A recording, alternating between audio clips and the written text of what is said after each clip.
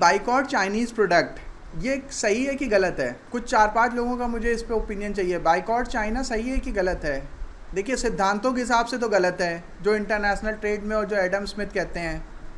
आप लोगों का क्या कहना है? सर अपने पास भी तो पहले अल्टरनेट होना चाहिए ना। जब तो बाइकआउट कर सकते हैं सर। अभी तो अपने पास भी रिसोर्सेज नहीं है तो बाइकआउट कर देंगे यूज़ कैसे करेंगे? देखिए बाइकआउट चाइना पे वरुण मल्होत्रा जी ने वीडियो बनाया था वो उनका आखिरी वीडियो साबित हुआ।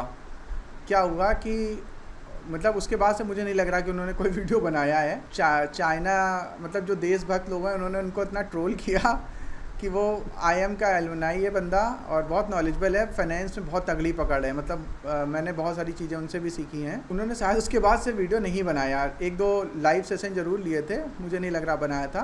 तो मैं आपको बस पाँच मिनट में ये क्योंकि इंटरनेशनल ट्रेड हम लोग टॉपिक पढ़ रहे हैं तो अगले टॉपिक में अगले टॉपिक में जाने के पहले बस पाँच मिनट में एक बार बता देता हूँ।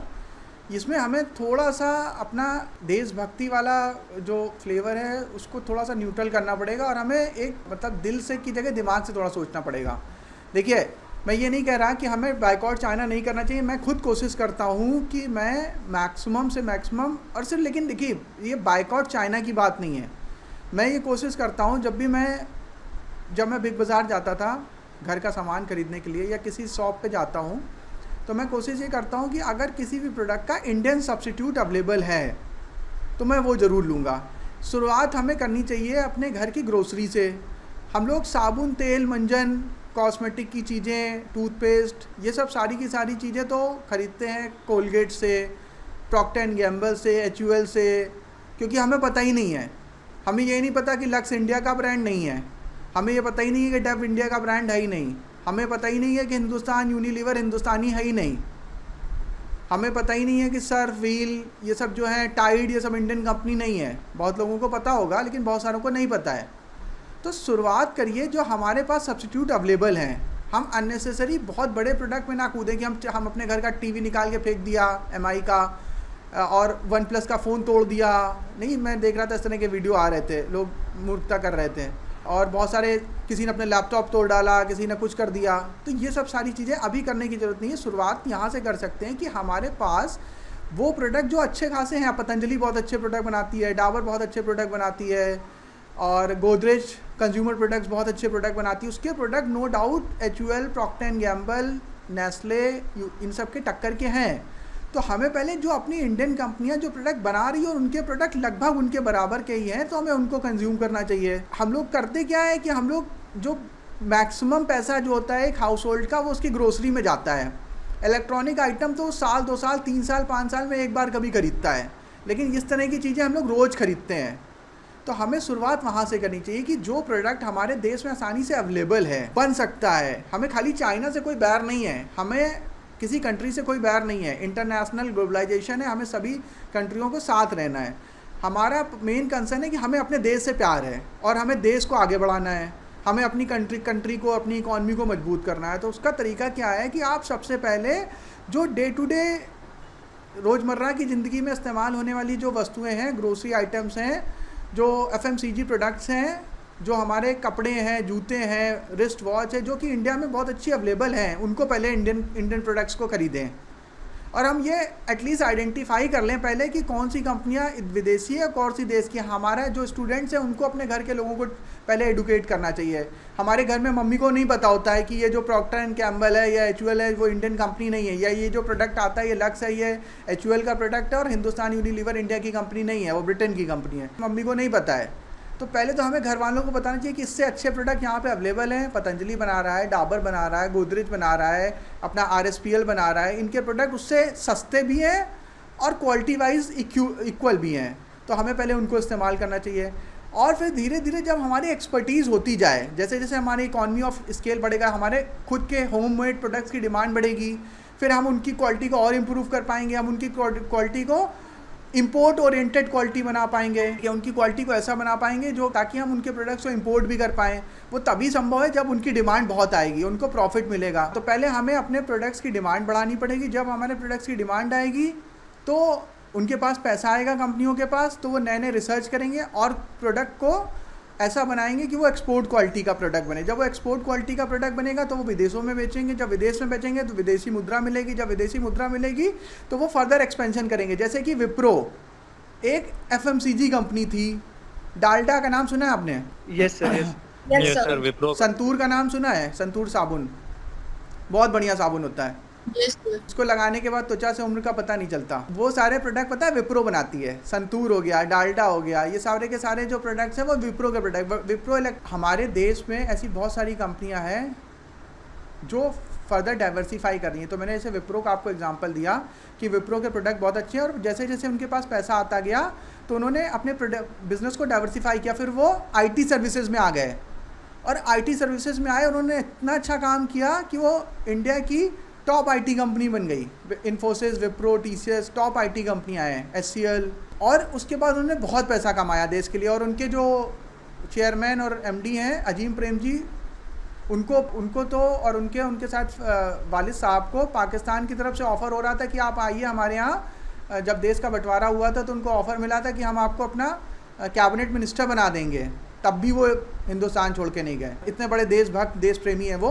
और उन्होंने अपना बहुत पैसा हिंदुस्तान की डेवलपमेंट के लिए दान किया चैरिटी करी। तो अजीम प्रेम जी साहब जो है, बहुत बड़े फिलेंथ्रोपिस्ट हैं। वो टॉप इंडियन मतलब टॉप रिचेस की लिस्ट में भी रह चुके हैं। बाकी वो बहुत ज़्यादा चैरिटी कर देते हैं तो नीचे आ जाते हैं। इस तरह से जब कंपनियाँ धीरे धीरे ग्रो करती हैं और उनके प्रोडक्ट की डिमांड आती है, उनके पास पैसा आता है तो वो डाइवर्सीफाई करती हैं।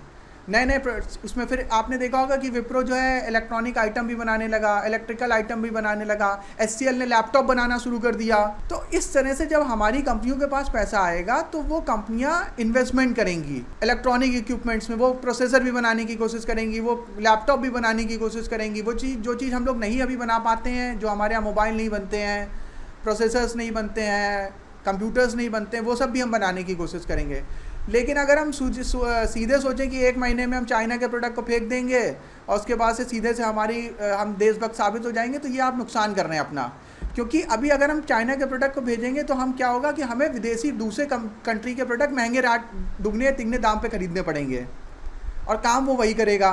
तो इससे उल्टा देश का ही नुकसान होने वाला है। हमारी इकॉनमी ख़राब होगी, हमारा ही पैसा और बर्बाद होगा। तो हमें अभी क्या करना चाहिए? जो चीप एंड बेस्ट है वैल्यू फॉर मनी है, उसको ख़रीदना चाहिए। वो चाइना को, कहीं का हो, इससे फ़र्क नहीं पड़ता है। और हमें कोशिश करनी चाहिए कि जो प्रोडक्ट इंडियन है, जो इंडियन कंपनियाँ बनाती हैं, अब जो कम जो इंडियन कंपनियाँ नहीं बनाती हैं, वो प्रोडक्ट हम किसी भी देश का ख़रीद सकते हैं। क्योंकि उस पर हमारी एक्सपर्टीज़ नहीं है, अभी हमारे यहाँ बनता नहीं है। और फिर जब हम, जो चीज़ हमारे यहाँ बनती है, वो चीज़ हम अपने देश के ही खरीदेंगे। बाइक कार साबुन, तेल, मंजन, ये सब सारे आइटम ग्रोसरी के आइटम कपड़े, ये सब सारी की चीज़ें हम अपने देश की कंपनियों की खरीदेंगे। और उससे जब हमारे देश की कंपनियाँ स्ट्रांग होंगी तो वो इन्वेस्टमेंट करेंगी उन प्रोडक्ट्स पे भी, जो कि इंडिया में नहीं बनते हैं, और फिर हम धीरे धीरे इन सब जो विदेशी कंपनियाँ हैं, उनका प्रोडक्ट को छोड़ के हम अपने देश के प्रोडक्ट्स परचेज करने लगेंगे। ये सही तरीका है और बेस्ट स्ट्रेटजी है। क्लियर किसी को डाउट किसी का कोई क्रॉस क्वेश्चन हो तो बताइए। ये सर एग्जांपल भी है सर इसमें। जैसे सर एक इलेक्ट्रॉनिक की कंपनी है मीवी वो पर सर पहले बाहर काम करती थी मतलब अब इंडिया में आकर वो made in India speakers headphones वो सब बना रही है। मतलब ये सही तरीका है बाइकआउट करने का। ये सही है हम लोग क्या करते हैं? साबुन तेल मंजन कपड़े मतलब अपना 80 परसेंट पैसा तो दे ही देते हैं विदेशी कंपनी को। उसके बाद कहते हैं, हम चाइना प्रोडक्ट बाइकआउट करेंगे। क्या खाक बाइकआउट करेंगे? आपने सारा पैसा तो अपना खर्च ही कर दिया। विदेशी कंपनियों को ऑलरेडी दे दिया है। अब आप क्या बाइकआउट करोगे? आपके पास कुछ बचा ही नहीं बाइकआउट करने के लिए। तो आप जो 80 परसेंट पैसा खर्च कर रहे हो विदेशी कंपनियों को दे रहे हो, वो आप पहले देश को दो। आप देश का साबुन इस्तेमाल करो, देश की चीज़ें इस्तेमाल करो, देश के खाने पीने की चीज़ें इस्तेमाल करो। फिर उसके बाद जब जब देश में पैसा आएगा तो देश की कंपनियाँ भी आपको अच्छा रिटर्न बना के देंगी और अच्छे प्रोडक्ट बना के देंगी।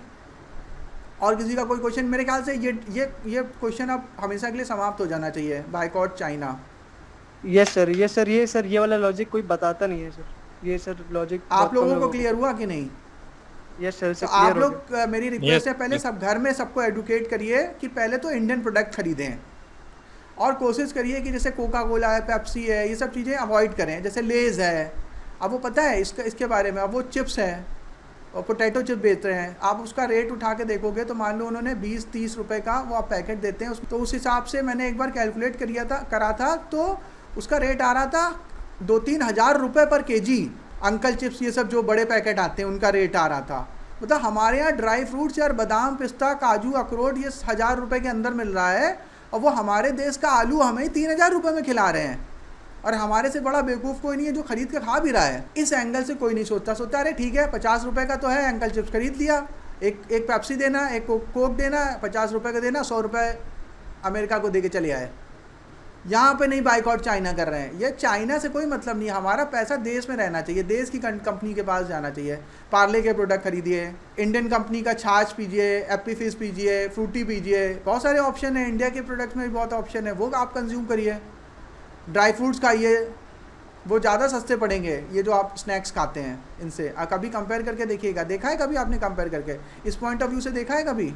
जो मैंने अभी आपको बताया। नो सर कभी नहीं देखा। कभी एक बार रेट कैलकुलेट करिएगा जरा अंकल चिप्स का जो पचास रुपये वाला पैकेट है उसको खरीदिएगा या चालीस पचास रुपये वाला जरा उसमें देखिएगा क्या रेट होता है वो कितने का एक के कितने का पड़ेगा। पता चलेगा उतने में आपके दो तीन चार किलो दो तीन किलो काजू आ जाएगा।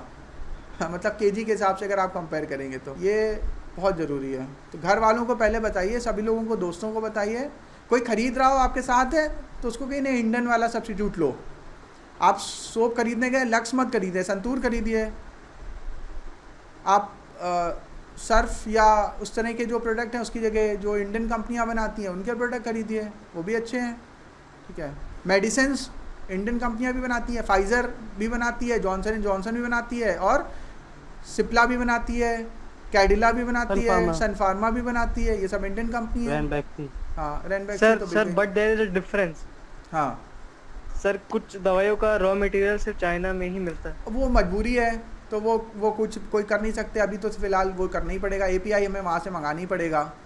हाँ तो वो मजबूरी है तो कुछ नहीं कर सकते। धीरे धीरे आगे चल के उसको भी उसका भी देख लो जब उनके पास खूब पैसा आएगा उनके पास ज़्यादा पैसा आएगा तो रॉ मटेरियल भी यहीं पे बनाना शुरू कर देंगे। सर एक्चुअली हम लोग का सर ब्रेन वॉश किया गया है सर बहुत पहले से सर तो अब मैं मतलब मैं सही डायरेक्शन में आपका ब्रेन वॉश करने की कोशिश तो कर रहा हूँ। सर अगर हम अपने लोकल प्रोडक्ट की बात करें नेटिव प्रोडक्ट्स की बात करें सर सब क्वालिटी से जितनी अच्छी सर ये लेकिन पोजीशनिंग नहीं कर पाते सर। हमें लगता है सर हमारे यहाँ मार्केटिंग की सेल्स की रिसर्च की और एक मैनेजमेंट की बहुत बड़ी कमी है। सुबह मैं आपका आंसर करता हूँ। देखिए H U L Procter Gamble Procter Gamble पता है?